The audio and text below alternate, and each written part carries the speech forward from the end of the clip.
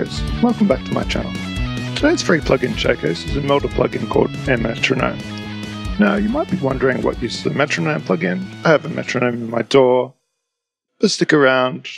After I do a quick run through the features, I'll explain a few scenarios where you might want a metronome plugin. There's two ways that this plugin can count out the beat, visually or orally. There's controls to turn off both the visual and sound counts, a speed multiplier control up the top, and a tap tempo button that's independent of the project tempo. Going into the settings for the visualization, you can adjust how transparent it is, how smooth or jerky the movement is, and how prominent the blinking on every beat is.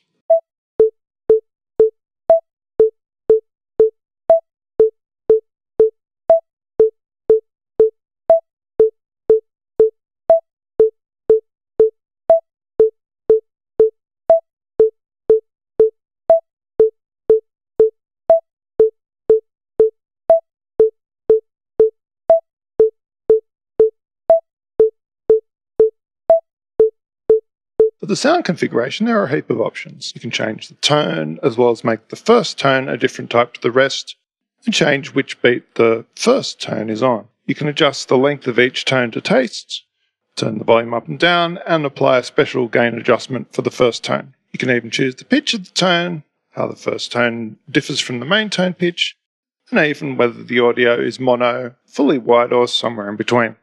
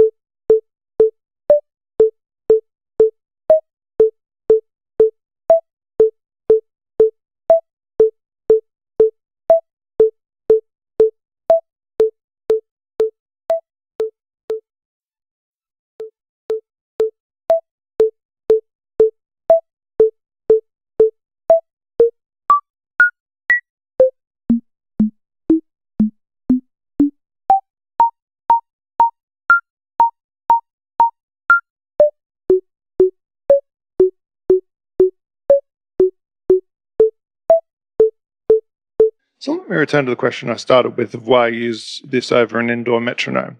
My first justification is customization.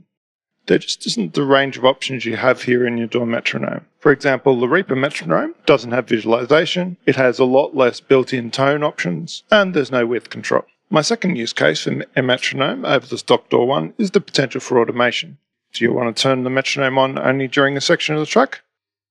Easily achieved with automation. Do you want to boost the volume of the metronome so you can hear it better during a section? Or use sidechain triggered compression to duck under another competing track under it? You can do that with their metronome too. Use case number three, making a click track. Once you've customized and automated the perfect metronome for your project, you're just a simple render away from turning that into a click track. And finally, use case number four, tap tempo.